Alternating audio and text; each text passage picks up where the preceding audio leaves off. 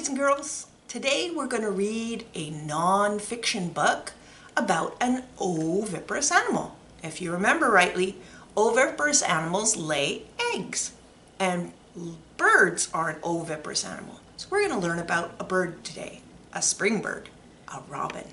So let's find out more. Let's read. Egg to Robin, Melvin and Gilda Berger courtesy of Scholastic.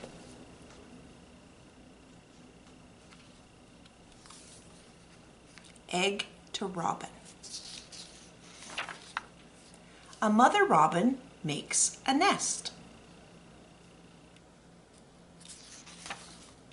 She lays eggs in the nest. Look at those eggs. What do you notice about those eggs that are different than the eggs that you see usually? Fun fact. The mother and father keep the eggs warm so they will hatch. The mother or father sits on the eggs. A little robin grows inside each egg. Can you see part of the robin? I wonder what part that is coming out. Fun fact, the eggs hatch in about two weeks. So that's about 14 days the baby robin peeks out of the shell. There's lots of baby robins in that nest. Hello, baby robin. The babies look quite different from their mummies, don't they? I wonder why he's doing that. Can you think of a reason? Fun fact. In time, the feathers will be smooth and neat the baby robins grow feathers. So they don't have them when they're born, but they have to grow them. The baby robins eat worms. Ah, we figured out why they do that. We can see in this picture. That was a quick question.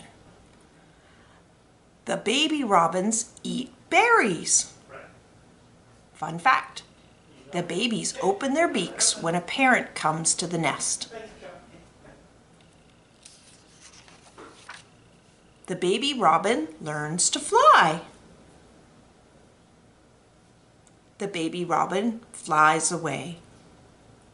Fun fact, baby robins leave the nest after about two weeks. So 14 days in the nest and then they're ready to fly on their own. The new robin finds its own food. Fun fact, adult robins eat fruit, worms, and insects. And the new robin finds a mate. And the new robin makes a nest. And then the life cycle starts all over again. Hope you enjoyed learning about robins. Maybe you can go out in the backyard and find a robin of your own. Maybe you might even find a nest. Be sure not to disturb the babies though. Draw a picture of what you find. Have fun!